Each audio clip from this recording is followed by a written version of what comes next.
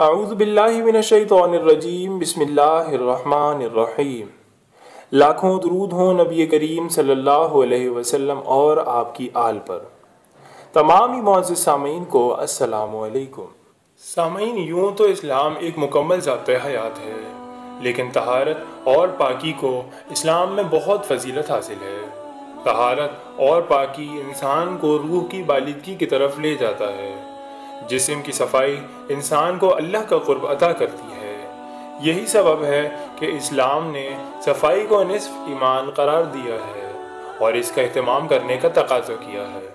اور ہر عبادت سے قبل چاہے وہ نماز ہو یا قرآن کی تلاوت، خاص طور پر وضو کا حکم اور جسم کی پاکی و طہارت کا حکم دیا ہے۔ مسلمان اللہ کے حکم کی تعمیل میں وضو کرتے آئے ہیں۔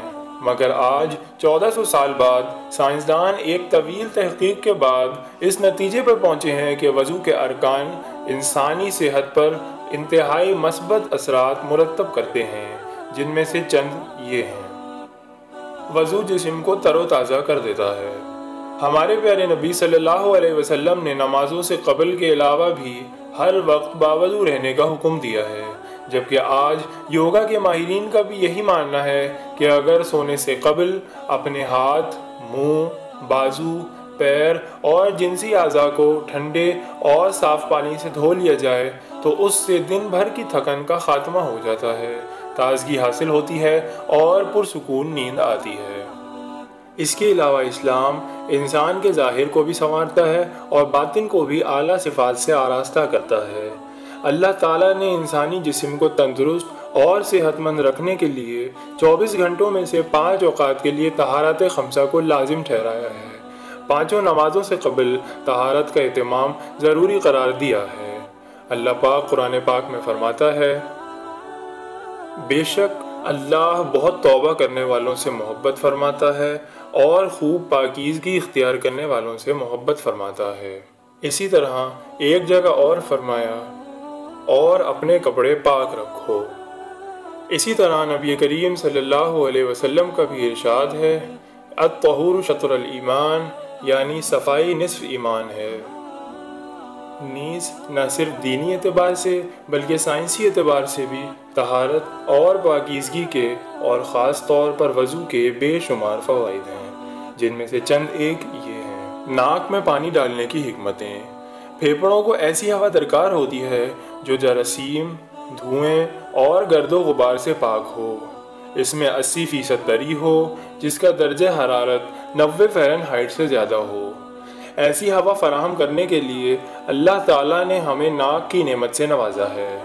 ہوا کو نم بنانے کے لیے ناک روزانہ تقریباً چوتھائی گیلن نمی پیدا کرتی ہے۔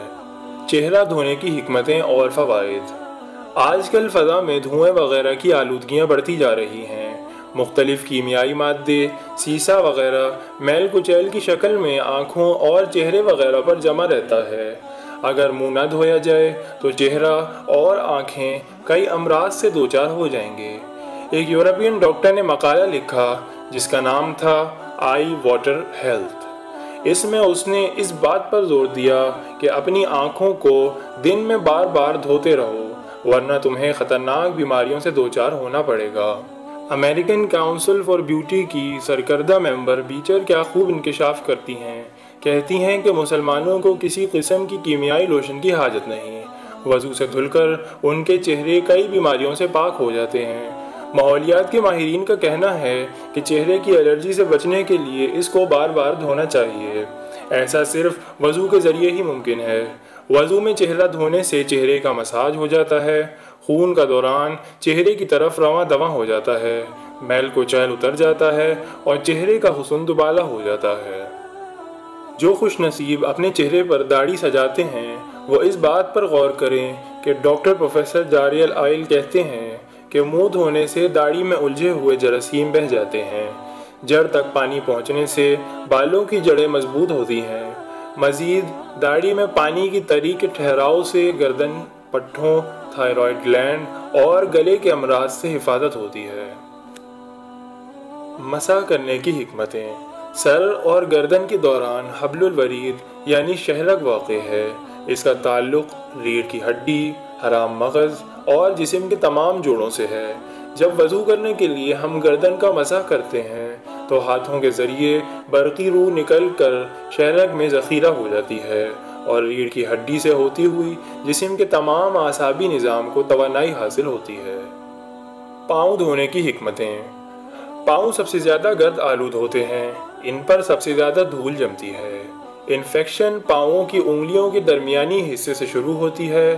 پاؤں دھونے سے گرد و غبار اور جراثیم بہ جاتے ہیں اور بچے کچھ جراثیم پاؤں کی انگلیوں کے خلال سے نکل جاتے ہیں، جس سے نیند کی کمی، دماغی خشکی، گھبراہٹ، مایوسی یعنی ڈپریشن جیسے پریشان کن امراض دور ہو جاتے ہیں۔ غرض یہ کہ جو کچھ آج سے تقریباً چودہ سو سال پہلے ہمیں شریعت میں بتایا گیا تھا، آج اسے سائنس ثابت کر رہی ہے۔ وقت کی کمی کی وجہ سے ویڈیو کو یہیں ختم کرتا ہوں۔ ویڈیو کے دوران اگر کوئی غلطی ہو، کوتاہی ہو گئی ہو، تو اپنے رب کے حضور معاف فرما دیجیے گا۔ انشاءاللہ ملتے ہیں آپ سے اگلی ویڈیو میں۔